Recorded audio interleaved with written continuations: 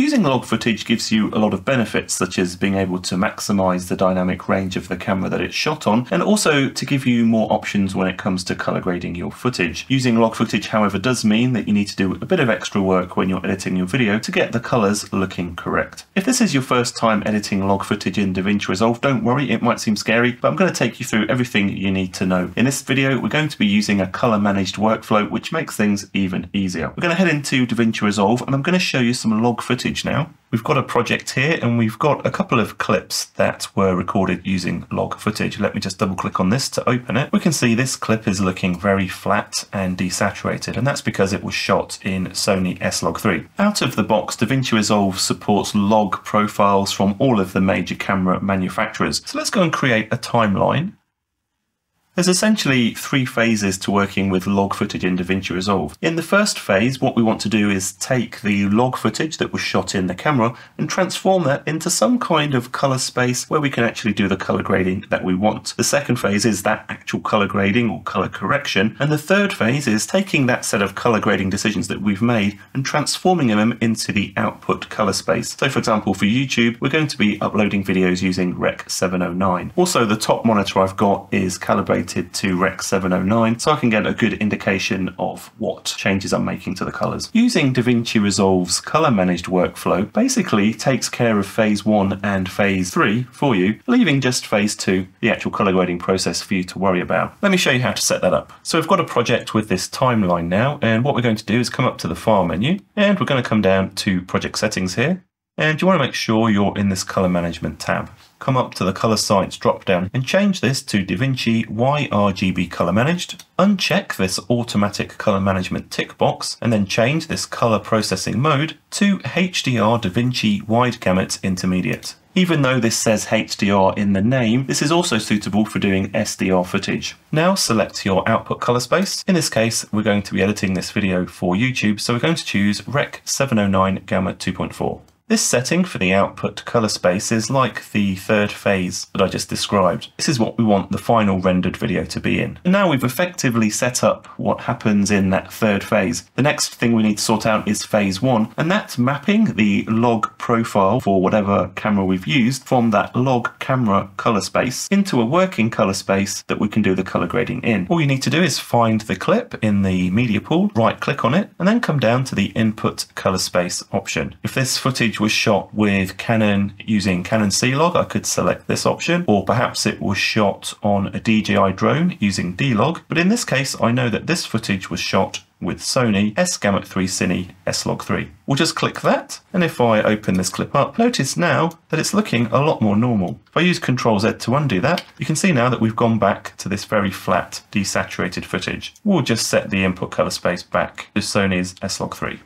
So setting this input color space is like that first phase that we talked about. We're going from the camera color space to our working color space. So we'll head over to the color page by clicking the color button at the bottom here. I'm just going to clean things up a little bit. All of the color grading that you do in DaVinci Resolve happens inside one or more nodes. You can do loads of things in one single node, but it's usually better to have multiple nodes. One node can represent one kind of thing that you're trying to do to the image or one creative idea or technical idea. Because we're using a color managed workflow, we don't actually need any extra nodes to convert from log footage to Rec 709, for example. That's all being handled for us by the color managed workflow. That leaves us free to concentrate on the actual creative color grading that we want to do. I'm going to show you a very basic way to use nodes for color grading. What we're going to do is right click on this first node. We're going to come and click node label. This allows us to give a custom name for this node.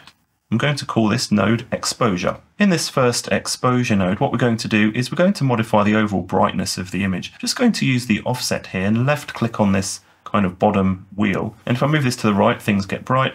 If I move it to the left, things get dark. So what I'm going to do here is I'm just going to brighten up this image just a little bit. If you want to reset one of these individual things, such as offset, just click this button here. And if you've made loads of changes, you can reset this whole panel by clicking this button here. And another way is to reset the entire node by right-clicking on the node and choosing Reset Node Grade.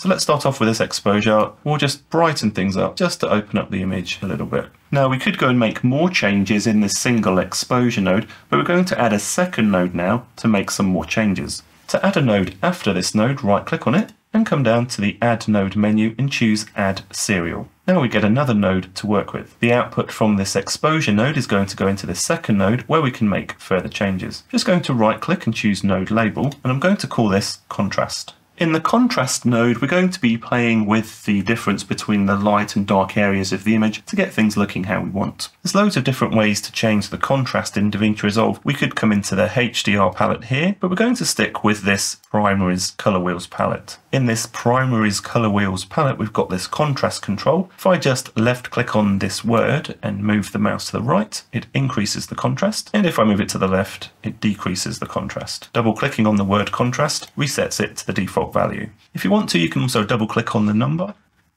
and type in a value. But in this case, we're just going to drag until we find a contrast ratio that we like. So now we've sorted out our contrast, we can go and add a third node. And in this third node, we can massage the colors of the image a little bit more. So we'll right click on the contrast node, come down to add node and choose add serial. Now the output of this contrast node will go into this third node and we'll call this color. What I'm showing you here is a simple three node approach to color grading, but you can get as complicated or as simple as you want. There's loads of different ways to change the colors of this image. The first thing we can do is play with the white balance by dragging this temperature left to make things bluer or right to make things warmer. Double click to reset. We can also change the tint to green or magenta. Or we can also drag this little dot in this offset here. If you move it up to the top left, things get warmer, and to the bottom right, things get cooler. Basically, you can push this around this wheel to change the colors in the image. You double click in this offset, it'll reset that, or you can also use this button here. So I don't mind how this image is looking too much, but if we wanted to cool it off, I could just drag this dot down and to the right a little bit. If you want to temporarily turn off a node to see the before and after, click on the node and use Control D on the keyboard. This is what it looks like without the node active, and this is what it looks like with the node active. So by pulling this dot down to the bottom right a bit, we've cooled off the image a little bit. If you select all of these nodes by dragging over them and using Control D, it will disable all of them. So you can see a complete before and after. Once you've adjusted the colors, you might want to come back to exposure and fine tune this a little bit. So maybe we'll just drop the exposure just a tiny bit before, after, before, after. So that's essentially all we need to do using this approach because the color management pipeline is already taking care of taking all of these color grading decisions we've made and putting them into a Rec 709 color space ready for export. Obviously color grading is just one part of the overall editing process for a video. If you want to learn more about editing, feel free to check out my DaVinci Resolve editing field manual. I'll put a link in the description. Don't forget to subscribe to learn more about DaVinci Resolve. I'm Jason Roberts and hopefully I'll see you in the next one.